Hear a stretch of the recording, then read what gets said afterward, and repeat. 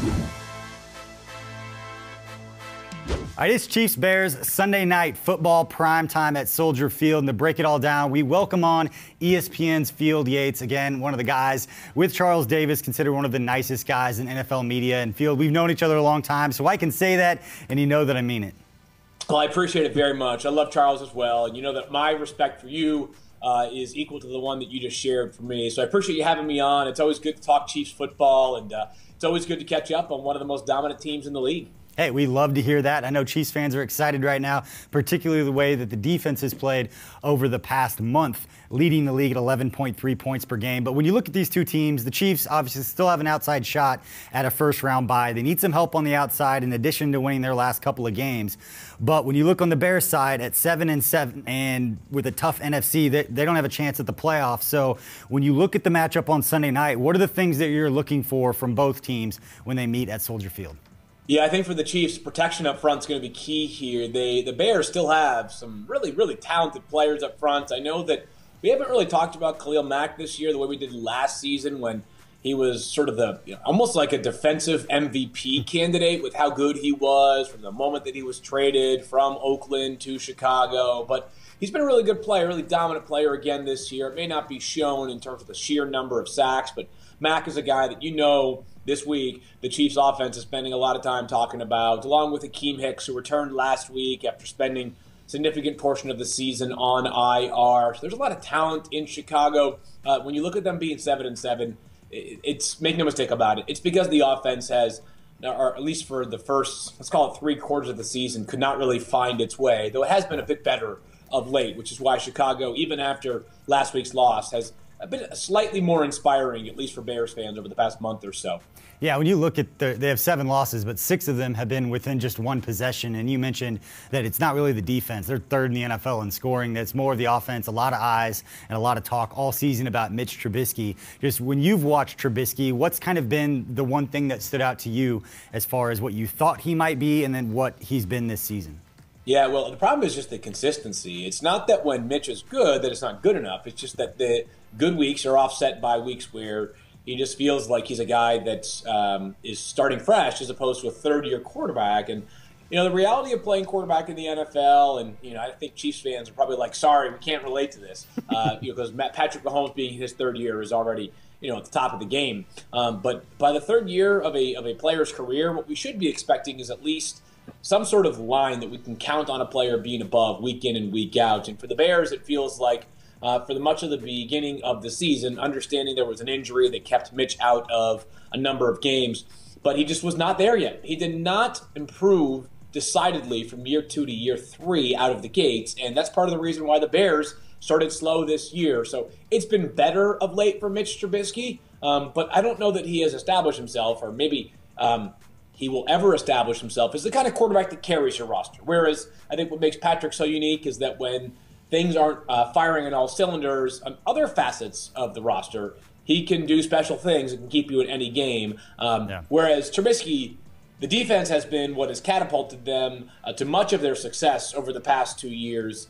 He just needs to find a way to be a little bit more consistent. And for the Bears' sake, they're saying too little, too late because now we're on the outside looking in with no shot at the playoffs. Yeah, nowadays, Field, you uh, you know better than I do, but all the advanced analytics out there, you look at Mitch Trubisky's number numbers, just completing 45% of his passes beyond 10 yards down the field. And uh, that's not a recipe uh, to get chunks of play, especially when you have that kind of defense. But the one guy on their offense that a lot of people here in the Kansas City area, the Big 12 country, knew about was David Montgomery, the running back, who I know you're a fantasy football guy. He was one of those hot names as those rookie running backs. He hasn't necessarily had the impact that a lot of the people on the most optimistic side thought from him. But as somebody who's watched the entire league, what have you seen from David Montgomery and what kind of challenge does he present a Chiefs defense that's been playing pretty well for the past month?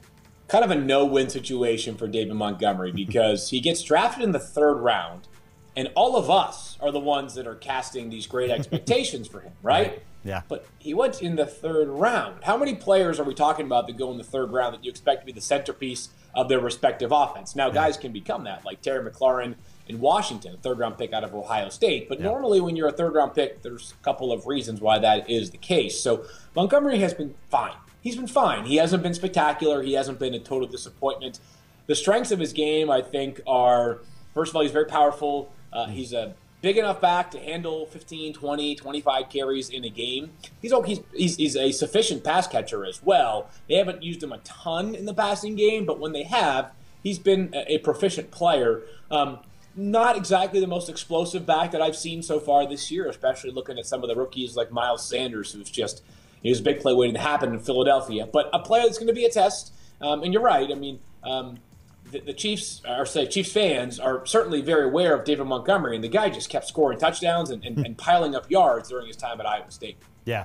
Now we do know that obviously familiar with Matt Nagy and his ability to be creative and try to get guys in space. And we look at the offense and that they've struggled with Mitch Trubisky, but they do have some playmakers with some speed on that side of the football with Taylor Gabriel, Anthony Miller, Tarik Cohen. Those guys can scoot, but Allen Robinson's really a guy who's had a great season for them, and people I think have been kind of waiting, maybe fantasy-wise, more your realm than mine. But it seems like everybody's kind of waiting for this kind of big season from Allen Robinson. He's over a thousand yards, already has seven touchdowns.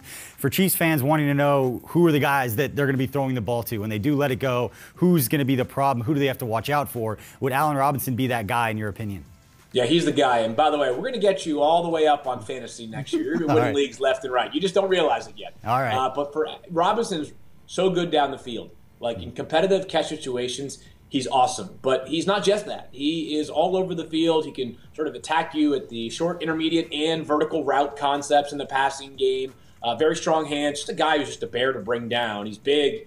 He's physical. Um, I don't. I don't. Even, I think he might be listed at like six one, but he feels like a guy that might play closer to six three and, and, yeah. and sort of functional stature. Uh, a guy who's been really good for them. And you know the big thing with Allen Robinson up to this point in his career is probably that if you look at the quarterbacks he's played with, they have not been consistent.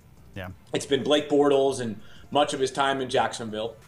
More recently, uh, Mitch Trubisky in Chicago, who at his best has made Allen Robinson or has allowed Allen Robinson to shine, but uh, some of his relatively modest production versus other top flight wide receivers is simply a byproduct of the quarterback play. He's a real challenge. He is the uh, primary target in their passing game with very good reasons. But you mentioned some of the complementary pieces, and uh, Anthony Miller has been awesome for them over the past five games, coming off of a 140 yard effort this past week. The guy's got 52 targets in the past five games, so certainly a guy the Chiefs know the ball is coming their way or his way uh, on Sunday night. Now, Field, I want to ask you about the same matchup, but on the other side of the ball in the Chiefs defense and just what they've done over the past month. It's the story locally and regionally around here. Everybody's, sure. been, all eyes have been on that defense. There's been so much talked about with that defense, and they're starting to come into their own. Steve Spagnuolo, Frank Clark, Tyrann Mathieu, all those guys have been talking about it for a while. When you've watched the Chiefs defense over the past month, what's been the thing that's impressed you the most?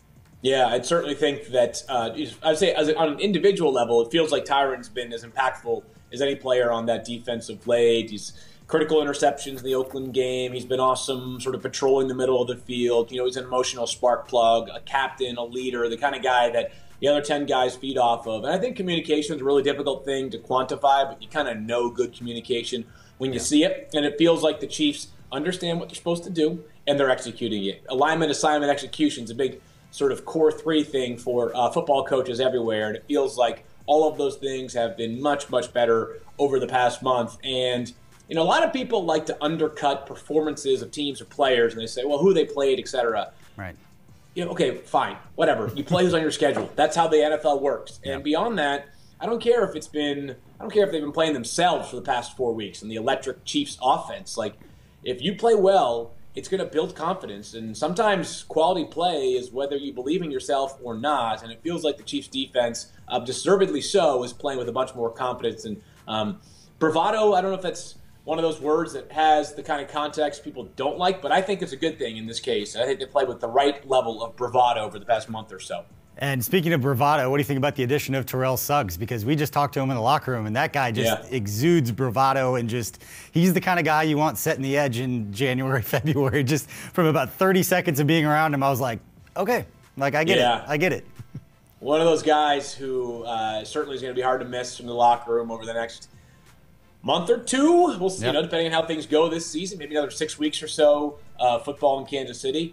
Uh, Suggs is going to do basically what he's been doing for, oh gosh, it feels like, what, 13, 14 years now? Uh, he's been in the league forever, um, and he continues to get home as a pass rusher. That's really the strength of his game, is being able to disrupt opposing quarterbacks, break up the integrity of the pocket, and with Okafor, Alex Okafor going to uh, IR, sort of a plug and play option. And you know, I know there was some discussion about whether Suggs would report. Um, you know, something I, I can imagine that once he got the call, that it was Kansas City, it's a pretty quick decision, right? A little bit different going to Kansas City versus maybe some teams that were higher up in the waiver claim priority that wouldn't give them a chance to compete for a championship this year. Yeah, I think it's the benefit of having Andy Reid as your head coach and the respect that he has around the league. When yes. when you're a player and you get on the phone with Andy Reid, you're going to listen. And uh, yeah, he, Suggs was asked quite a few questions about that with all the reports that came out. And now I want to ask you about the questions that people have about the Chiefs team overall. A lot of it was about the defense, and then the offense uh, didn't take a step back, but wasn't as efficient as we've come to expect from them over the past 16 months. So, with two regular season games left to play, and then as we go into the playoffs, what questions? do you still have of this Chiefs team that they can answer over the next couple of weeks to put them in that conversation uh, with all the other teams? Is this is a, a definite Super Bowl caliber team that we feel like can get there and can win it if they get there? Yeah, so 12 teams are going to make the playoffs, obviously. The Chiefs are one of eight that have already uh, clinched their, their playoff berth. But of the 12, there might be three or four that I say, ah, I'm not so sure. I'm uh, not so sure they can actually win this whole thing. The Chiefs have already, in my mind, they're already a team that I believe will have a chance to win the whole thing, uh, regardless of what seed they have, who they play in their first playoff game, etc. But a couple of questions would be this. Um, off, uh, on, on offense, it would be does somebody emerge as the go-to guy in the in the backfield? Right? I mean, it's been yeah. one week it's Damien, one week it's LeSean, one week it's Darrel Williams. Now Spencer Ware is back. Uh, how healthy is Damien Williams going to be for the rest of the season? I'm not sure that it totally matters. Like you don't need one guy to be your go-to back, but I do think that some semblance of a running game can have a layered impact on the passing game, and you know if weather becomes an issue and sort of playoff football, right? That's how things are sort of. I mean, that's what we talk about. We think of playoff football in a lot of cases as really good defense, and obviously being able to run the football as well. So uh, does the running game sort of um, allow one player to become the guy? And again, it doesn't have to be, but will one guy become the guy? And yeah. then on defense, it's, it's it's the question is just keep doing it, right? It's yeah. it's can four weeks of good defensive play turn into six weeks of defensive play going into the playoffs? And I think from a competition standpoint, neither of their final two opponents really scare me um, in terms of their offensive, you know, their their consistency on offense. But you know, good test all the same. I mean, if you can stack six good weeks of defense going into the playoffs, the Chiefs, whether they're playing in the wild card round, the divisional round, home, away, they should feel like they've got a very good chance uh, when they start playing football in January that counts. It's good stuff. Now, before we let you go, I'm going to put you on the spot a little bit. Do you have a prediction for Chiefs Bears Sunday night football, prime time at Soldier Field? Give me a score prediction and yeah. maybe a surprise breakout player that nobody's thinking about. Ooh, okay. Uh, 27 17, Chiefs okay. win. Surprise breakout performer man, the problem is that the Chiefs are so good offensively that all of these guys have already had big games. So, like, I can't say, you know, that Mecole Hardman's going to have a big game. The guy was named to the Pro Bowl on Tuesday night. um, surprise performer. I mean, maybe Terrell Suggs gets a sack in his uh, first game with the Chiefs. I'm sure Chiefs fans would have no issue with that whatsoever. You're speaking their language, Field, and I know that they're going to appreciate that. They're going to be fired up. Suggs seemed pretty fired up to get going when he was here today. But we appreciate your time. Again, everybody can find him at ESPN and a variety of different shows. Obviously, his fantasy football focus. But Field Yates, we appreciate your time.